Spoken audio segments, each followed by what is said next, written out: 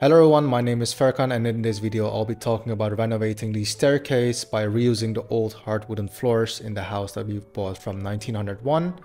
I will tell you why you should do it yourself and I hope to inspire you for your next project. So let's get started.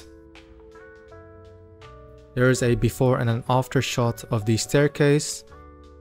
We did both the stairs and the stair railing. And here you can see the first shot that we made when we were visiting the house. So as you can see, the previous owner had carpet laying on the stairs and also the stair railing was painted. We both really didn't like that, so what we did is we got rid of the carpet firstly, which you can see here, and we had two stairways, so both of them we got rid of. And then below that there was some kind of a wood material in this grey, which was very old, uh, we also got rid of that, but the nice thing about this is that we could reuse these as a template for the new hard wooden floor. So the house when we bought it had an old hard wooden floor. It was a very high quality wood. So if you would want to buy something like that, it would be very expensive. So we knew immediately that we would want to reuse that for the stairs.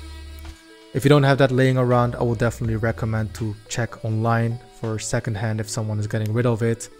Basically, you just have to cut it in the right size add a stair nose to it and just add it to the stairs on top. So I think one thing I learned from doing this on our own or together with my dad is that even making something like this is not rocket science. You just need a little bit of time and patience. And a few tools I would say. So this multi-tools definitely something I recommend. really helps in cleaning it up. And then finally what we did is um, caulking all of the sides for isolation and making sure it looks good. Uh, my dad and I visited a workshop here in The Hague to cut them to the right size and also we bought this MDF and painted it in the same color as the walls to add it to the backside of the stairs.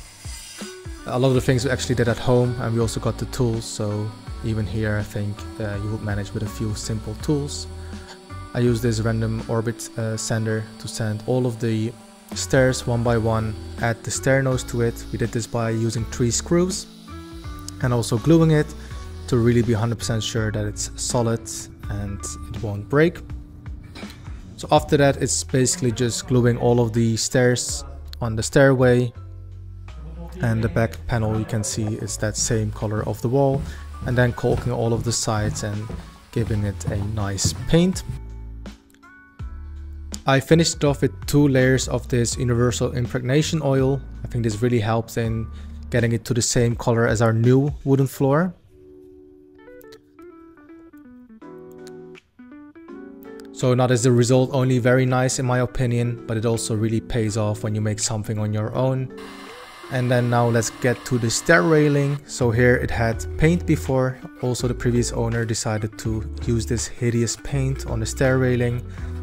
Getting rid of all the paint was a very painful job because it took such a long time with a paint gun and a scraper uh, to get rid of all of the paint and afterwards uh, had to use a random orbit sander what you're seeing here with a sponge on front of it so it won't uh, it curved with the edges.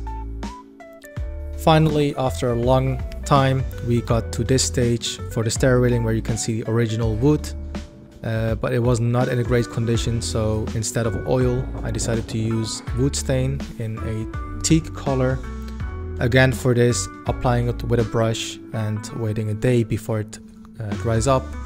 I used two coats and it really made a huge difference. So here you can see a before of how it looked like and an after and also when it was a bit more dried up and you can see the final result of the staircase uh, which looks in my opinion really really great. So once again here's the final result of the staircase. I hope you enjoyed this video. See you in the next one. Bye bye